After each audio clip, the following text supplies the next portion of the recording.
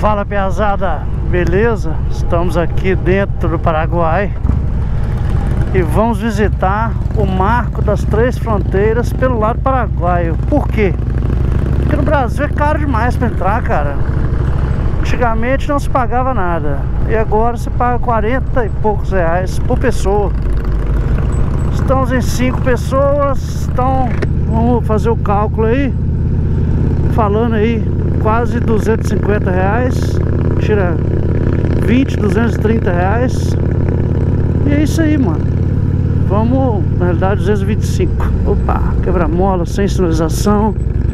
É uma beleza para não ver, né? Mais um aqui. Esse tem. Pelo menos tem uma plaquinha ali. E aí falando, pô, vamos do lado paraguaio, porque é mais barato, é de graça, grátis. E se vê as mesmas coisas, né? E resolvemos fazer isso. Não fizemos imigração ainda, porque estamos dentro da faixa dos 30 quilômetros que você pode rodar dentro do Paraguai se você estiver em é, é, Foz do Iguaçu e quiser vir para a cidade de Leste, você simplesmente pode passar com a moto pela ponte da amizade e você num raio de 30 km pode rodar sem é, pedir, sem, sem ter que apresentar o carta verde ou documentação específica de imigração, né, vamos dizer assim. É, eu tô com um problema, tá? Que não vai invi inviabilizar a viagem, mas é um risco. Eu transferi essa moto pro meu nome, essa Street Glide, em tem uns seis meses e nunca fui buscar o documento da moto porque estava na pandemia e você tem aquele aplicativo carteira digital, inclusive quem não tem, recomendo baixar, que você baixa todos os seus documentos todos os seus veículos, você acessa o ponto. Então, americano, tava falando pra vocês aí, o que aconteceu, cara? É, eu não transferi a moto, quando transferi a moto meu nome, passou os 30 dias que o cara tinha preenchido. Caralho, mano, olha isso aqui.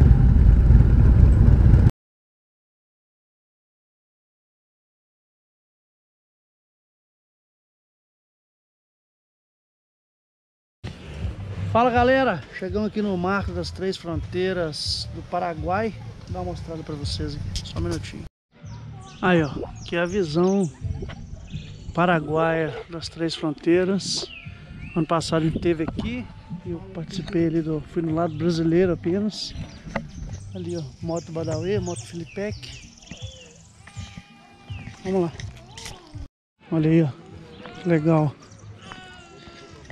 Bandeirinha Paraguai. E tá aí, ó. Marco de Itaipu. Binacional, hidrelétrica. Encontro das, das águas aqui. Ali tá o marco da Argentina. Então cá estamos em Paraguai. Quente pra caramba hoje, cara. Calorão total. Olha embaixo. Filipec, Badawi, Agissa e a Dani. E eu fiquei para trás para trocar o cartão de memória do GoPro, que encheu, sei lá como. Acho que deu um BO. Tem que formatar ele. Vamos lá. Olha aí. Lá tá o lado brasileiro. E aí galera, paramos aqui no Paraguai, só pra vocês terem ideia, gasolina Prix 90, 90 octanas, Super 97 octanas, 6,65. Gasolina muito melhor que a nossa, no mesmo preço do Brasil. Badawi. 20 mil guaranis, 100 reais. 120 mil guaranis, 100 reais.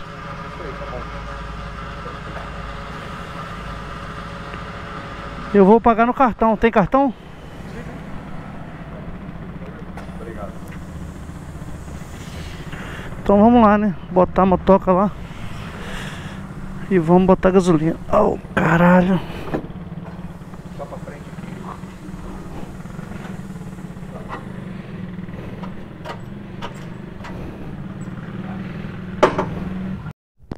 É pesado, de rolê pelo Paraguai, ó. Uma paradinha aqui para esperar o Felipe Peck. Esperar o Felipe ali, ficou no semáforo lá. Quando eu passei no amarelo, eu não sabia que ia ficar. Vamos pra ficar Você tá, se... tá seguindo o GPS aí? Oi? Tá seguindo o GPS? Tô seguindo. Ah, o meu, o meu tinha mandado virar lá embaixo. Já mandou virar pra onde? Aquilo, pra lá. Antes daqui agora? Lá longe, agora tá mandando em reto aqui. Agora já recalculou, tá mandando em reto. É o clima europeu, né, cara? Clima europeu. Europeu da Bahia. Europa da Bahia, o Paraguai. Ó, tem até temporizador o negócio. Tá, não, vamos passar na ponte, na, no cantinho, vamos passar no meio dos carros. Ah, vamos ver como é que tá lá quando chegar. Ó, Mas se você quiser ir nos carros, tiver engarrafado, eu te espero do outro lado. Não, mas você não vai nos carros? Vamos no carro, todo mundo. Porque minha moto é magra, né, velho? Ah, então beleza. Então vamos todo mundo.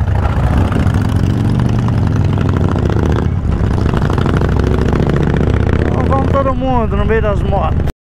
Então vamos atravessar novamente a ponte da amizade, dessa vez pela, pelo local dos carros, né, cara? Muito melhor pra passar, cara. Tá louco. Quando passa as motos é horrível, terrível, surreal.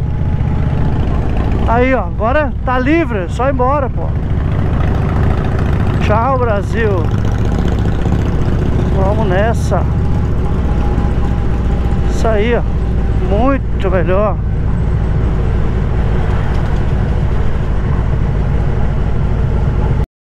Ali, ó. Ó pra vocês verem, ó. Harley 99. Vaza óleo mesmo, ó. Olha lá, ó. Felipe, Felipe Peck tá vazando óleo na moto. A Fat Boy 99 Motor Evolution com 80 mil km rodado. É isso aí, né, pai? Só vai. Nem aí pra galera.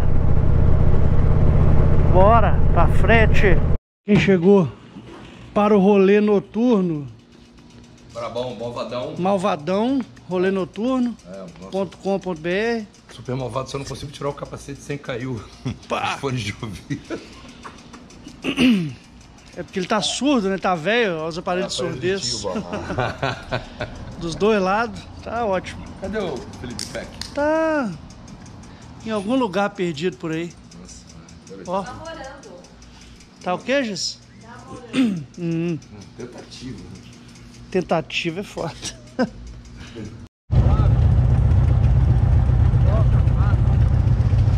Aí, ó. Agora mais um rolezinho em Foz do Iguaçu.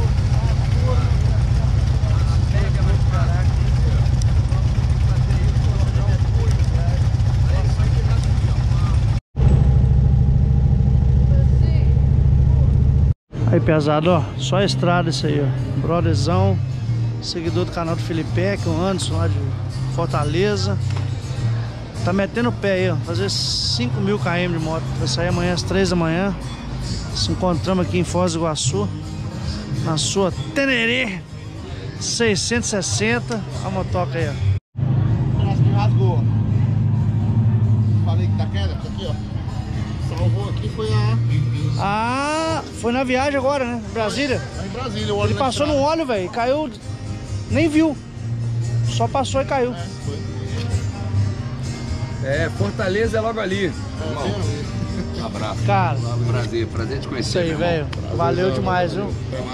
Só a motoca pra fazer uns negócios desses mesmo. Ah, mas farol é bom, velho. Toda uma lâmpada foda aí. Isso aí.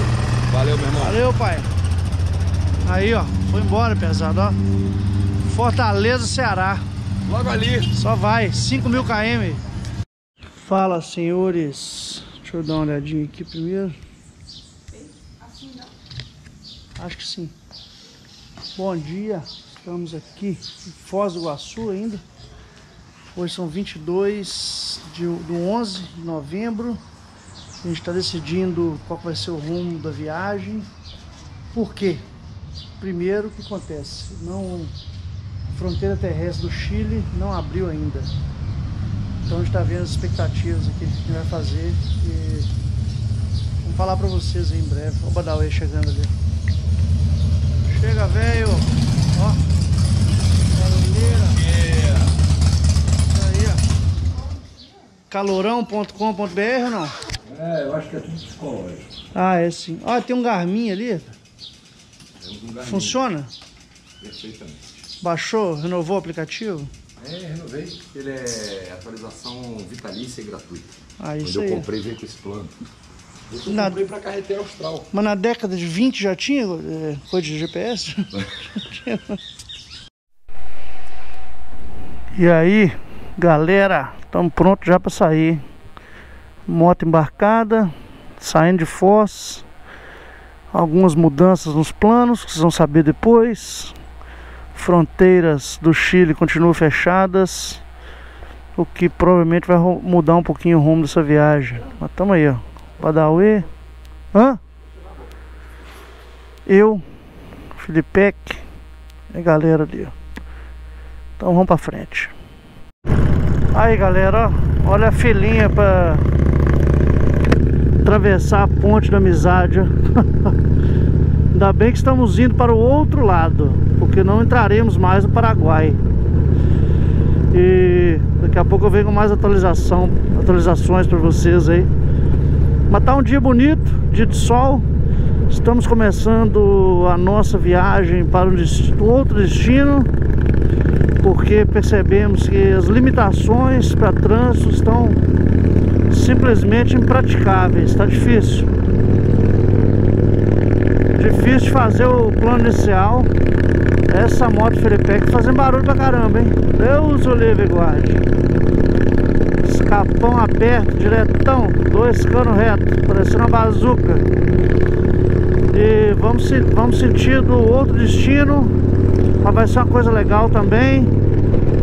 E depois eu converso com vocês mais sobre isso, beleza? Valeu! Então vamos lá, galera, pra vocês o que aconteceu e o que, que vai rolar daqui pra frente. Bom, nós tivemos vários percalços, né? É, mas o maior deles, com certeza absoluta, é a entrada no Chile, tá? Por quê? As fronteiras terrestres continuam fechadas, tá? Aparentemente, tem uma previsão dessas fronteiras abrirem no dia 1 de dezembro. Eu publiquei um vídeo outro dia no podcast, no Moto Diário News Podcast, é, falando exatamente das especificações que nós precisamos para entrar em alguns países da América Latina, dentre eles o Chile, tá? Chile, é, Chile, é, pa- pa- é, Chile, Argentina, tá? E Bolívia. Não falei do Paraguai não. E deixa eu só desligar aqui. Então vamos lá. É, então o Chile está embaçado, a gente não consegue entrar, então nós decidimos não mais entrar é, na América Latina. Por quê? Cara, primeiro, são muitos requerimentos, principalmente na Argentina. A gente precisa de fazer teste de Covid antes, isso aí não é problema. Mas precisa fazer um outro teste cinco dias depois. Rodar isso tudo para não entrar no Chile e completar o Atacama, que é o objetivo principal da viagem. Nós decidimos postergar a viagem do Atacama e fazer uma outra viagem. Está indo para um, lugar aqui dentro do Brasil.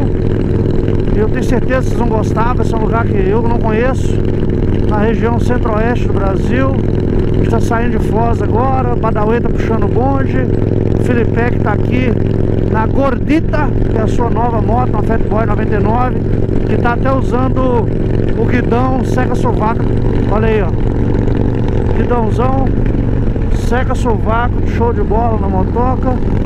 E quem quiser, entra no site, tá aparecendo aqui na tela, acessa e pode fazer um projeto de guidão seca sovaco para você a preço acessível, tá? O objetivo é ter ou dar possibilidade de todas as pessoas que quiserem colocar um sexo vácuo na sua moto. A gente sabe que não é barato, mas a gente está fazendo o melhor preço do mercado. Então dá uma olhada lá, motoaltocusto.com.br lá você realiza seu sonho de colocar um saxovaco na sua moto. Bom, onde a gente vai? Eu vou deixar para falar mais na frente, eu quero que seja surpresa para vocês, mas vai ser uma viagem legal, a gente está se colocando na estrada, vamos fazer e vamos jogar o tacão para ano que vem, na hora que a gente tiver sem essas restrições da pandemia de Covid-19, tá? Eu acho que é melhor, a gente vai mais à vontade, a gente vai com menos percalços, tá? E vamos continuar ligado aí. Daqui a pouco a gente volta na hora que estivermos avançado mais o nosso trajeto. Um abraço.